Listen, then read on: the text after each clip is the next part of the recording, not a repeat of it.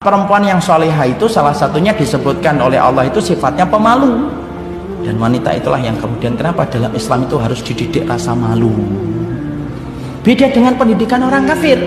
Kalau pendidikan orang kafir itu bagaimana menjadikan wanita itu tidak memiliki malu. Makanya dibuat kontes kecantikan. Dibuat Miss World. Padahal sudah sering saya sampaikan berkali-kali ya. Peradaban dan kemenangan itu dimulai ketika wanitanya itu benar karena apa?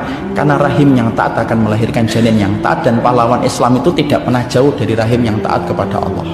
Kenapa orang kafir itu selalu membidik serangan mereka itu kepada kaum wanita muslimah dulu? Karena mereka tahu kalau wanita muslimahnya sudah bengkong, yang dilahirkan pun bengkong. Makanya kalau para wanita Islam itu tahu bagaimana kekuatan yang dimiliki oleh mereka itu, maka mereka pasti itu akan menjadikan seluruh kekuatan mereka untuk Islam.